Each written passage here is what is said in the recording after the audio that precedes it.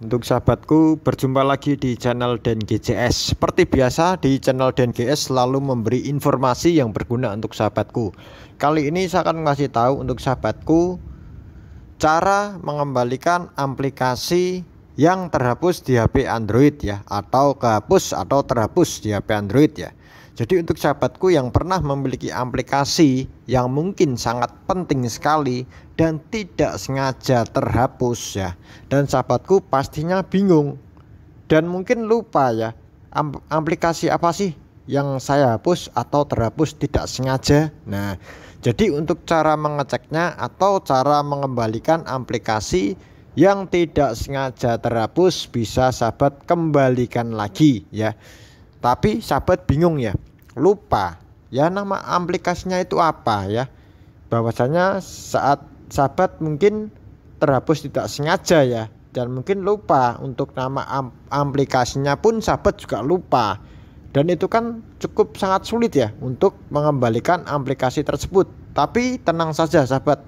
Kali ini saya ada cara yang mungkin bisa mengembalikan aplikasi sahabat ya. Walaupun aplikasinya sahabat itu sahabat lupa ya. Tapi kita bisa melihat di storynya atau bisa melihat aplikasi yang pernah sahabat download sebelumnya ya. Jadi akan saya kasih tahu sahabat untuk caranya. Mohon disimak baik-baik supaya tidak salah ya. Begini sahabat caranya. Yang pertama sahabatku bisa masuk saja di playstore di setiap HP pastinya akan ada yang namanya Play Store ya sahabat. Semua HP pasti ada.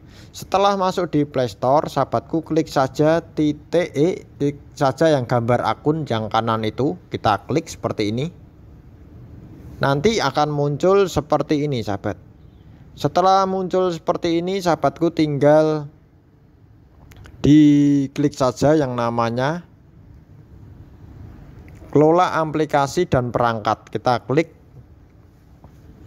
Nah setelah seperti ini sahabatku langsung menuju ke yang namanya kelola sahabat. Kita klik. Nah bahwasanya ini kan aplikasi yang diinstal oleh sahabat ya ini ya. Ini yang sudah ada di HP Android sahabat. Ya terus untuk cara mengetahui atau mengembalikan aplikasi yang terhapus bagaimana Bang? Oke, langsung saja sahabat akan saya kasih tahu caranya. Ini beda ya sama fitur yang dulu. Ini adalah fitur yang terbaru dari Play Store.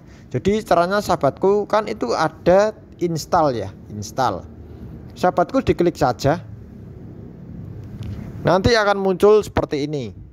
Dan sahabatku tinggal diklik saja yang namanya tidak diinstal. Nah, dan inilah merupakan aplikasi yang pernah sahabat download di HP sahabat ya atau history ya. Jadi sahabatku bisa mengeceknya ya, bisa dicari dan mengeceknya. Ini campur ya sahabat ya.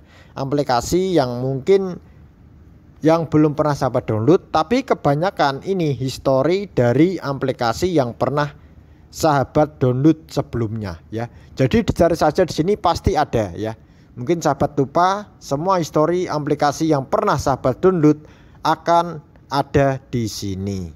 Begitu sahabat caranya. Semoga informasi ini membantu. Cukup sekian dan terima kasih.